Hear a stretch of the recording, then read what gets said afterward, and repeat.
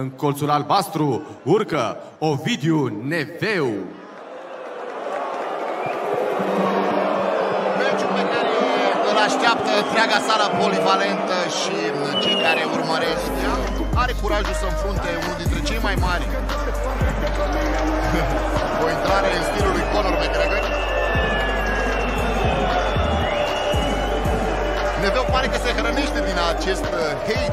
Iar în colțul roșu urcă Ion Pascu. Ion Pascu în urarele unei săli arhipline la sala polivalentă. Este incredibil ce este aici. Nu cred că mai este niciun loc liber. Pieptului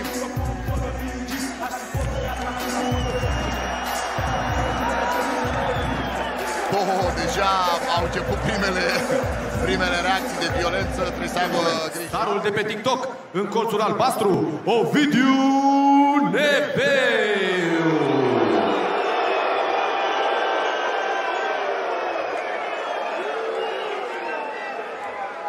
Al doilea sportiv prezentat este cel mai titrat luptător de MMA al României cu meciuri în cele mai prestigioase gale din lume ca Bellator, Bama și ACB. Are peste 30 de meciuri de MMA la cel mai înalt nivel cu 24 de victorii. Se antrenează la Absoluto Fighting Center și Bombers Academy în București, alături de Ciprian Cărăușu și Gabi Bota. Luptă astăzi în colțul roșu Ion Bombardieru Pascu!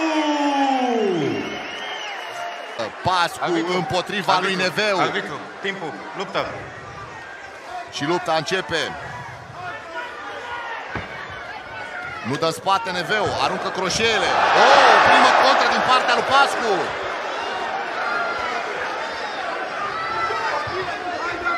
Așteaptă cu croșeul de dreapta, are un croșeu foarte puternic uh, Neveu. Aruncă din nou croșeul. E greu însă împotriva unui sportiv care a văzut N lovituri de acest gen. Se ferește foarte bine Pascu. Atenție însă, Neveu poate fi foarte periculos cu aceste croșee puternice. Aruncă croșeele și Pascu ia pe lo- la lovituri. Pare că nu mai duce mult Neveu la cum uh, reacționează. A început să dea în spate. Pare că e și destul de obosit. Diferență mare de gabarit între cei doi. Lovește, dă pe lângă Neveu. A trecut un minut. Neveu rezistă după primul minut. Aruncă aceleași croșee largi, Pascu deja începe să simtă distanțele. Nu va reuși să-l prindă cu aceste croșee. Mult prea experimentat Pascu. Blochează, îl prinde parcă... îl prinde ca pe un copil Pascu.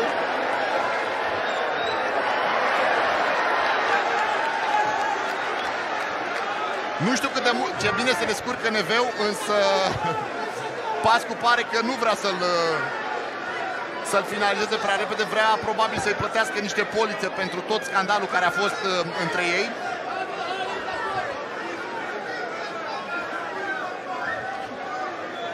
Cum ar fi Neveu acum să bată, să renunțe la luptă, să cedeze fără să primească prea multe lovituri sau... Pascu dă lovituri de, de palmă. Parcă este uh, o situație pe care am mai văzut în în meciul între Khabib și, uh, și Conor McGregor. Încearcă să-și tragă brațul de acolo, încearcă să și lovească cu mâna cealaltă Pascu. Pus la colț și la propriu și la figura Neveu. L-a simțit că este victimă sigură. Se duce după strangulare.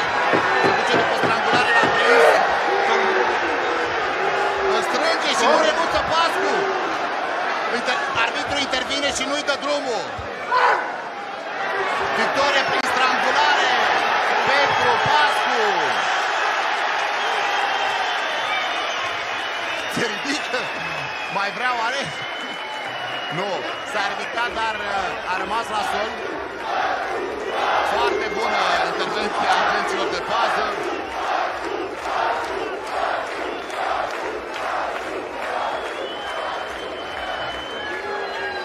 Părerile au fost împărțite spre acest meci.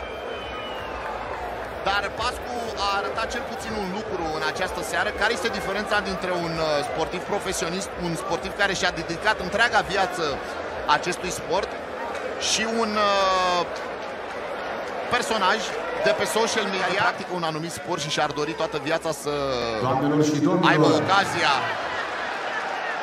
învingător Neveu și-a ridicat singur mâna. RNC, Ion Bombardieru Pascu! ceva forță ca să-i treacă brațul în jos lui Neveu.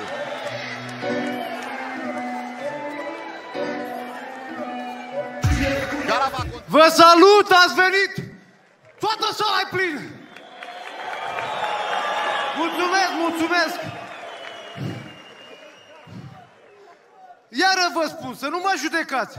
Am vrut să dau un exemplu și eu zic că am făcut-o. Să nu mai provoace...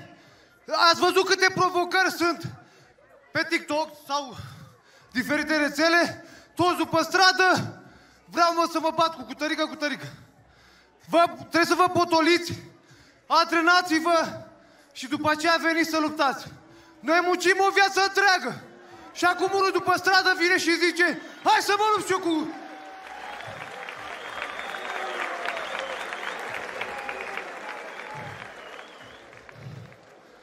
Eu nu am nimic cu el. M-a întărătat, am vrut să-i fiu maestru, n-ai vrut să accepti, te punea pe drumul bun, așa că a trebuit să te pedepsesc. Vezi că în contract nu scria că ai kilograme mai multe. Trebuie să-mi dai 10.000 de euro acum.